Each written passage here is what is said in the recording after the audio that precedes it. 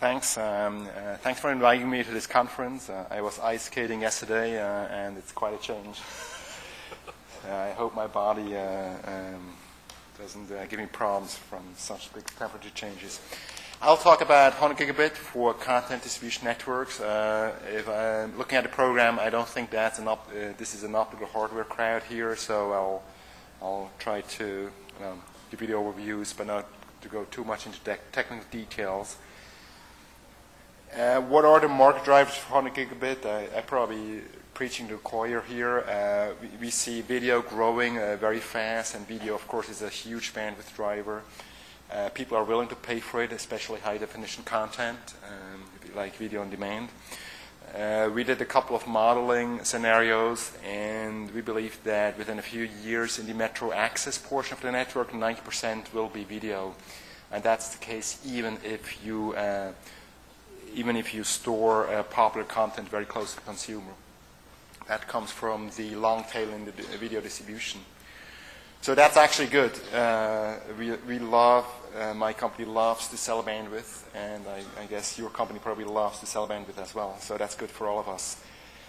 Now, video has some uh, pretty uh, important requirements. Uh, you have to have low latency for good picture quality. You, you have to have a very resilient uh, network. But then also there are a couple of things that can be easier with video. Uh, for instance, you can optimize uh, your network in an asymmetric way to take advantage of the, uh, I mean, that, uh, th- that you need require much more downstream bandwidth. Other important bandwidth drivers could be storage networking, carrier wholesaling, science applications, grid computing and I hope they all will take off as well. There has been a big religious battle between what should be the next Ethernet standards. Today it's 10 gigabit Ethernet, and there was a pragmatic camp that was uh, advocating 40 gigabit Ethernet, and then there were the more visionary people who were advocating 100 gigabit Ethernet. Uh, Ethernet has been growing in steps of 10, uh, in factors of 10, um, starting with 10 megabit Ethernet. Uh, clearly, uh, 40 gigabit Ethernet is technically uh, easier because 40 gigabit exists today. 100 gigabit is harder, but 100 gigabit is sort of more, more beautiful. So uh, the two camps in the end came together, and there will be both the 40 gigabit Ethernet standard and the 100 gigabit Ethernet standard, and that's for, for my company that's perfectly fine. Uh, we believe that 100 gigabit will be cost effective uh, compared to 10 gigabit not only on the uh, capex but also operate, operation cost. And it will actually help both 40 gigabit and 100 gigabit. Uh, 40 gigabit today is pretty expensive uh, compared to 10 gigabit, but prices are coming down. So, what, what are the benefits for 100 gigabit networking? If you look at today's routers, they are uh, reaching uh, terabit and multiple terabit of cap- capacity and the capacity is actually not limited by the switching capacity of the router, but more uh, of the how much I/O capacity can uh, put onto the router. And clearly, 100 gigabit will help there to get the full uh, switching capacity. You could, of course, have logical 100 gigabit ports, but still uh, use 10 gigabit transport, and that's being done uh, today. But th- this is expensive. Uh, eventually, the higher speed interfaces always are cheaper on a per bit basis. It's also better to have higher speed ports uh, just for the stat muxing gains. Uh, if you stat mux up to 100 gigabit, uh, you get much better efficiencies than if you have to stat mux only up to 10 gig. And finally, in your WDM network, each channel uh, burns up the wavelength. So clearly, if you go at 100 gigabit, you're going to burn up 10 times less wavelength. So there are many benefits to 100 gigabit networking, just as there were benefits to 10 gigabit networking uh, five years ago.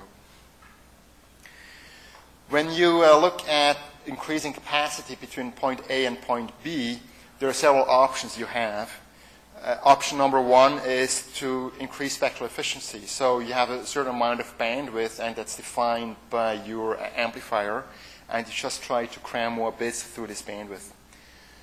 What you could also do is increase that bandwidth, use multiple amplifier bands, or also just light another fiber.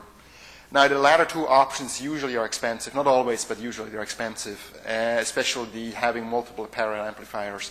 So people really try to do is just to have higher spectral efficiency. And that's very similar to what happened in the wireless uh, space too, where people just try to uh, get more and more bits into a limited amount of bandwidth. If you look at uh, other requirements for WDM systems, often you install a WDM system, you don't know exactly what's the uh, traffic growth is going to be. So you lay it out maybe for 10 gigabit, but then you want to later on upgrade this 10 gigabit to 40 and 100 gigabit. So your 100 gigabit channel should be compatible with a system that has been, has been designed for 10 or 40 gigabits. And that usually means it has to be um, uh, it has to fit on a 50 gigahertz grid. That, that's the channel spacing of the WDM channels. It also has to go through ROADMs. ROADMs are devices are like optical switches where you can direct wavelength channels without uh, converting them into electronics. So ROADMs are very low-cost switching devices that have huge capacities. But of course, if, if the ROADMs have been designed for 10 gigabit channels and now you come with 100 gigabit channels, it still has to work. Also, when you lay out a system for 10 gig, it goes over a certain distance. You want to make sure that when you upgrade it to 100 gigabit, you still reach the same system distance. So what I'll show you that 100 gigabit with an advanced modulation format actually allows you to do to achieve all these things. So it's really to have high spectral efficiency and be existing, uh, be compatible with existing systems. So uh, this is a mini tutorial on modulation formats. Uh, if you look at 10 gigabit systems today, even 40 gigabit systems, they are, have a very simple modulation format. It's just a light on and off. It's like a fl flashlight with a shutter. And that's very simple. You only need a shutter. It's very uh, simple optical hardware. However, it requires a lot of bandwidth. And typically, a 10 gigabit system requires 10 gigahertz of bandwidth.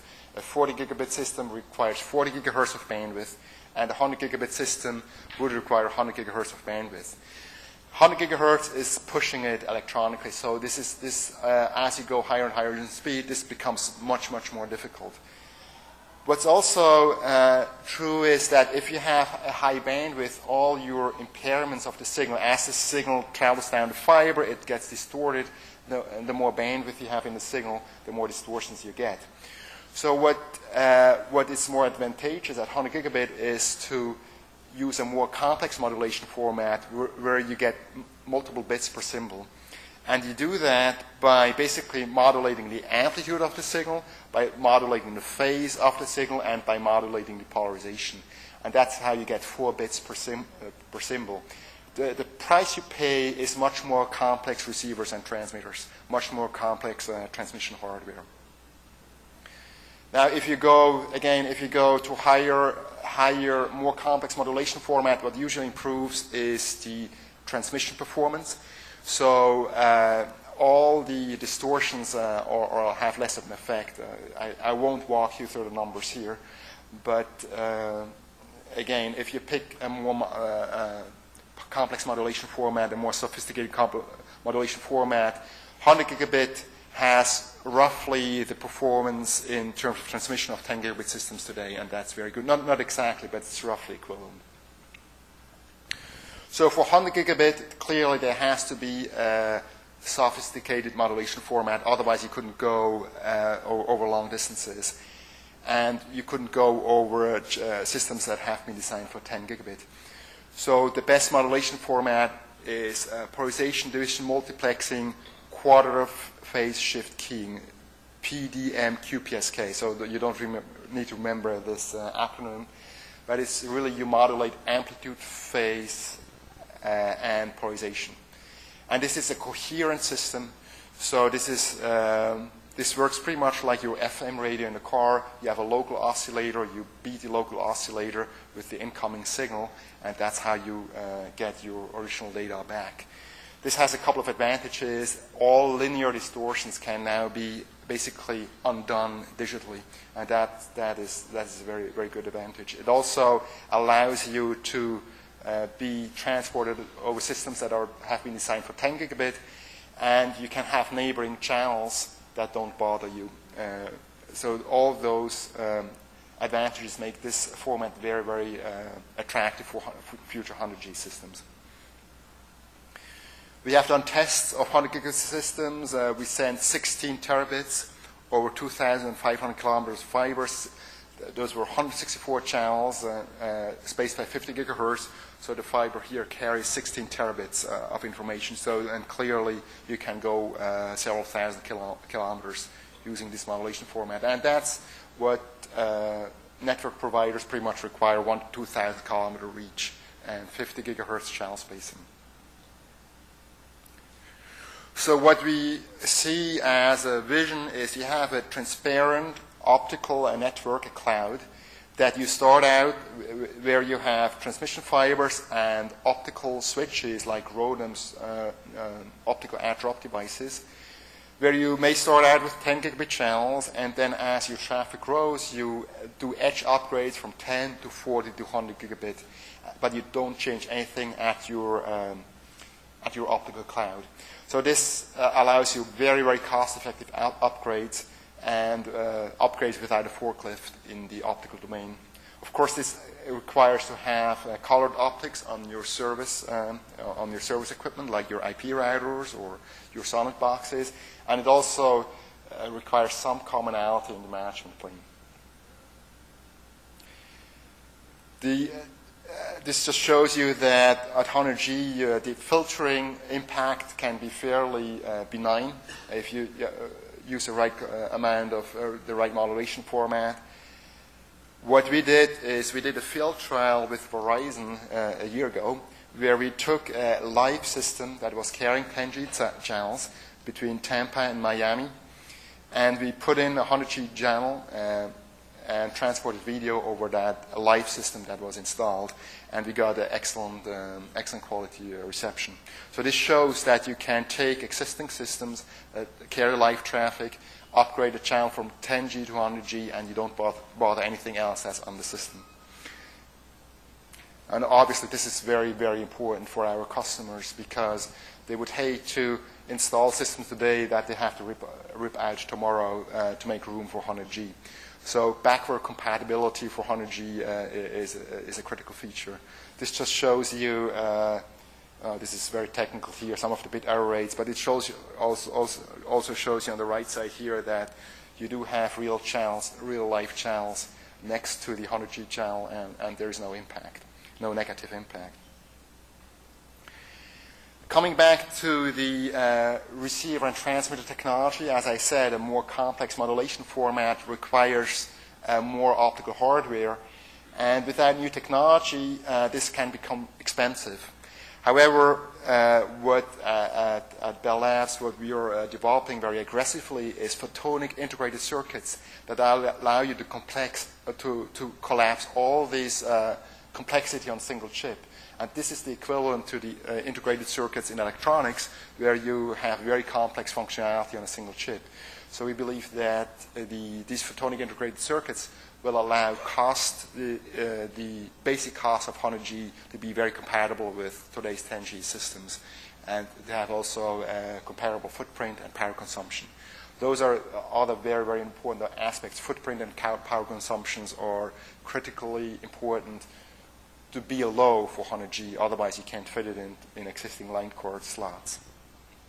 This is just another example of a very highly integrated uh, transmitter that actually uses uh, even more complicated uh, modulation format, 16 QAM. That's a modulation format that's uh, used in wireless systems today. My, uh, my li- on my last few slides, I want to look a little bit into the future. If you look uh, at 100G if you really have 100G demand between two endpoints, of course, then you will pull, put in a full 100G um, uh, wavelength. But it could be that on day one, you don't really need 100G, you need something less. In which case, you could put in a 10G first and a 100G later. But what actually the 100G, um, what you could also add 100G is optical packet switching, and that means you basically quickly change the wavelength color of a channel, you switch between a 100G channel between red, green, and blue, and then just by optical filtering, you can now di- direct the red, green, and blue data to different endpoints, and that's what's called optical packet switching. And that allows you to share, for instance, a 100G channel between multiple endpoints in an all optical way without having to uh, go through optoelectronics and, and do the routing. So this is called optical packet switching. It's called optical burst switching. Uh, it's called optical grooming if you go into literature. This uh, at 10G, I think the value proposition for that is marginal because at 10G probably most channels are filled and you don't need to uh, have a, a sub-wavelength grooming. But at 100G, I think this is very attractive, and we believe this this could be uh, future 100G systems could could uh, could offer optical packet switching options. This is just a demo we did a few years ago at 10G uh, doing exactly that. One key technology you need here is a, a, a, laser, a transmitter that can very quickly switch colors within a few nanoseconds. So you could really send uh, packets, you could really color your individual uh, packets. But uh, those, those lasers are available today, and you can indeed switch them very quickly. So, uh, takeaway messages from my talk. Uh, video will dominate network traffic. That's probably uh, not anything that is news to you. We believe that 100G will be very cost effective and will sat- satisfy network demands, but it will require a sort of a new modulation format that's not been used today at 10G or 40G. Uh, what's really cr- critically important uh, is that 100G is backward compatible. And if you use an advanced modulation format, uh, it will be uh, backward compatible. To make the 100G uh, cost, uh, cost competitive, you really need a new technology, and that, that's been done with photonic integrated circuits. Uh, they are very low cost, low footprint, high re- reliability. They, are, they can be mass manufactured. Uh, we also believe that new technologies like optical packet switching may become attractive at 100G uh, because they allow you sub-channel uh, wavelength uh, uh, connectivity. And uh, so, to summarize, you know, we are very excited about 100G, and I think it will enable massive content networking. It will, it will make content networking really cost-effective. Thanks a lot for, for your attention.